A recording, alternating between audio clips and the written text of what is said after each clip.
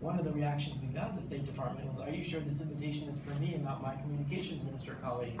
Uh, you know, but, but the point is that we're trying to, you know, apprise them that the internet is here. It should be a national priority for them.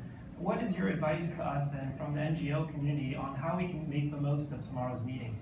Well, I, I was immensely impressed with um, the conversations I heard today, and you can correct me if I heard them incorrectly, but I saw a tremendous amount of skill and enthusiasm coming together in this room throughout the day that I would love to see um, infused into the conversations with the banks, the ministers, and beyond um, as this goes forward.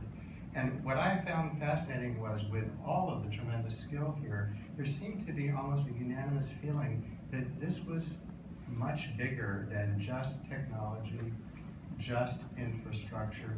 It was really about all the externalities, societal externalities, the global externalities people have kind of been talking about all day.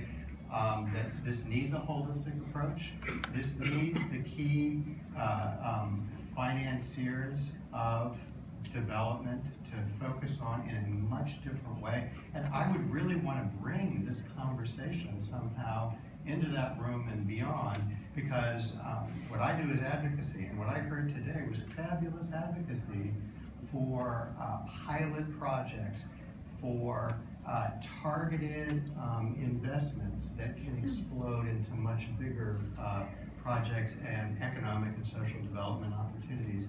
Um, there's just a tremendous amount of knowledge and skill here that needs be at the table. So what I would hope that we can somehow find a way to convey going forward and maybe continue this process um, is to uh, do this again and make it more targeted, focused, and strategic.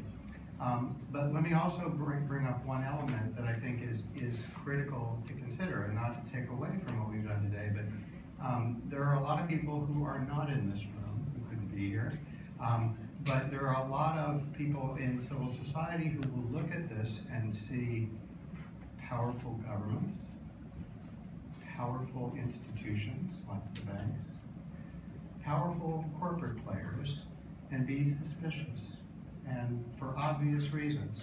Um, uh, we have worked with other NGOs, I see Brett here from Access, on a letter to the ministers to uh, engage support this process, but also to indicate that there are important issues that have been talked about here, rule of law, uh, appropriate norms and behaviors, uh, the good use of taxation, the inappropriate use of taxation, on and on. Um, a set of parameters and norms that are critical so that you're not just building to build, you're building to actually serve the economic and social needs you're talking about. And so I think we need to be sensitive that we need to not just galvanize what we've had here today, but we need